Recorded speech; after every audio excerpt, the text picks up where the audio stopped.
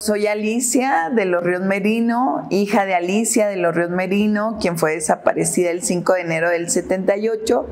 Soy abogada del Comité de Madres de Desaparecidos Políticos de Chihuahua, historiadora y trabajo en la Universidad Autónoma de Chihuahua.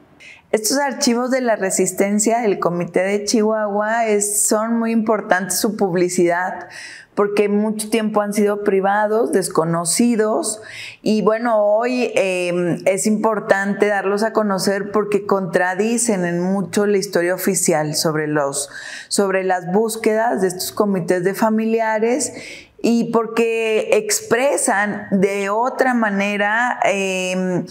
em, la trayectoria, la experiencia de estas mujeres, abuelas, madres, que buscaban desde un inicio, cuando se da el fenómeno de la desaparición, que pusieron, se acuerparon frente a las autoridades, expresaron sus demandas, sus voces, y bueno, es que, lo, que se conozcan hoy frente a la apertura de archivos institucionales, pues nos da un punto de contraste, ¿no? Bueno, en estos archivos de la resistencia del Comité de Madres Desaparecidos Políticos de Chihuahua vamos a encontrar sobre todo pues expedientes que cada una de las familias, cada una de las mamás reunió acerca de sus hijos e hijas, desde un acta de nacimiento hasta un certificado escolar, cartas de buena conducta. También vamos a encontrar, por supuesto, todas las peticiones, las demandas y denuncias que como Comité de Madres hicieron a las autoridades a partir de los años de la desaparición hasta mediados de 1990, más o menos.